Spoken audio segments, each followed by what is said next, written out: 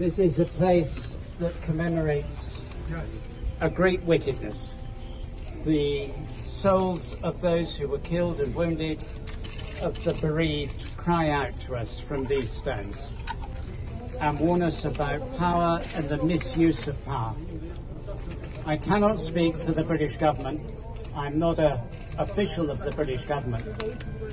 But I can speak in the name of Christ and say this is a place of both sin and redemption because you have remembered what they have done and their names will live, their memory will live before God.